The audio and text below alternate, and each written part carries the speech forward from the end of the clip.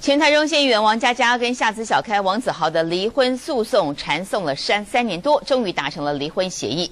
五岁儿子由两人共同抚养。那么对此，王佳佳特别出面，她说没有拿男方王子豪的一毛赡养费，全是为了小孩才会答应离婚。她也跟对方签订了保密协议，以后不在公开场合当中谈到儿子。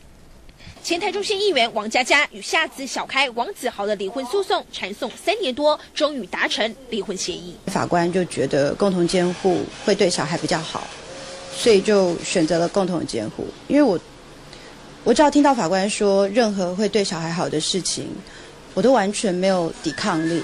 王佳佳强调，都是为了五岁儿子，她才会答应离婚协议。法官判定小孩由两个人共同抚养。王佳佳说，她没有向王子豪拿任何赡养费，说我离婚没有拿他一毛钱赡养费，对。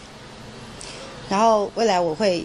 努力的工作。当时被称为“美女议员”的王佳佳与小开王子豪在二零零七年结婚，引来各界注目。在二零零九年，王子豪提出离婚诉讼，并且争取儿子的监护权，一直到二零一零年，两人达成离婚协议，官司缠讼了三年多。他也不行，我也不行。